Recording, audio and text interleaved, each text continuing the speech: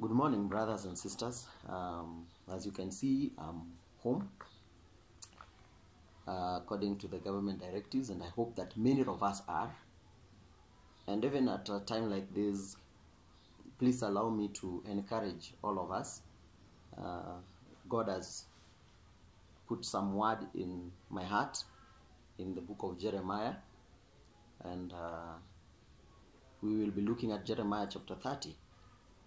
Now, as you all know, that Jeremiah was a prophet of God, ministering to the children of God, the Israel and Judah, who were at this particular time in captivity. Uh, the Israelites were in captivity in Assyria, and the Judah were in captivity in Babylon. And so Jeremiah chapter 30 gives us two scenarios. The first is the prophet of God is giving us the detailed um, picture of what is happening to the children of God in captivity. But the other bit is giving us some hope of restoration and redemption. And I'm hoping that this can help us in lifting our hearts to the Lord, even at a time like this. Now, when we look at Jeremiah chapter 30, and I will just be selecting some few uh, verses to read. Jeremiah chapter 30, uh, my Bible has a title Restoration of Israel. And of course, if you look at chapter uh, in verses 2 and 3, there is a summary of indeed what God wants to do as far as restoration is concerned. However, before that restoration, we see Jeremiah giving us a picture, a very disheartening picture of the things that are happening or of the pain that the people are facing in captivity. Listen to this.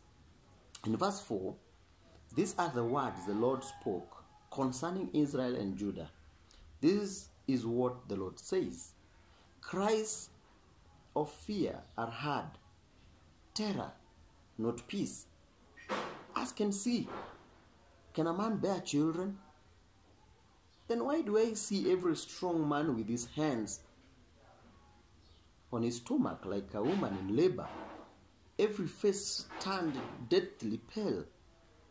How awful that day will be! No other will be like it. It will be a time of trouble for Jacob. But he will be saved. In verse 12, we see a continuation of the state of the people of God. He said, This is what the Lord says Your wounds is incurable, your injury beyond healing. There is no one to plead your cause, no remedy for your soul, no healing for you. All your allies have forgotten you, they care nothing for you. I have struck you as an enemy will and punish you as all the cruel, because your guilt is so great and your sins so many.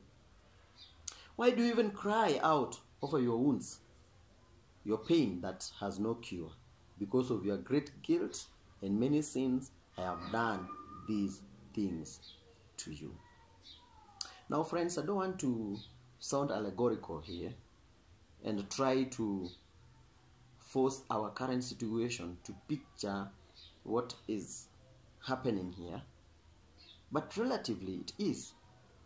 We are hearing cries from every quarter cries of the increased number of those who are being infected by the coronavirus, and cries of hundreds of people dying in a day, in a week, increasingly in number. And we are hearing of several precautions that are being taken by several governments. And all these things sends a picture of fear and lack of peace within us. And you know, uncertainty that comes with us being home. And many, as somebody will put it, that many Kenyans rely on their daily bread as they work.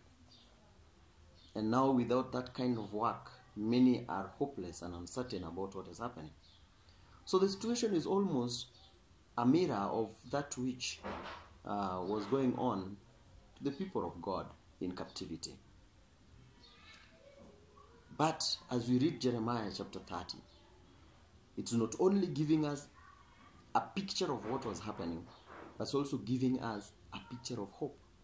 And so, friends, look at this. The Bible says in verse 8 In that day, declares the Lord Almighty, I will break the yoke off their neck and will tear off their bonds. No longer will foreigners enslave them.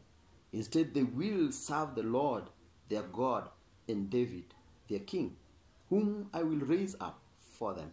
So do not be afraid, Jacob, my servant. Do not be dismayed, Israel. I will surely save you out of a distant place, your descendants from the land of the exile. Jacob will again have peace and security, and no one will make him afraid. I'm with you, and I will save you, declares the Lord. Though I completely destroys all the nations among which I scatter you, I will not completely destroy you. I will discipline you, but only in due measure. I will not let you go entirely unpunished, though. The beautiful bit, even as it ends, I will, in verse 18, I will restore the fortunes of Jacob's tent and have compassion on his dwelling. The city will be built on her ruins. You know, the Bible finishes in verses 22 and says, So you will be my people, and I will be your God. Now, that is an amazing comfort, friends.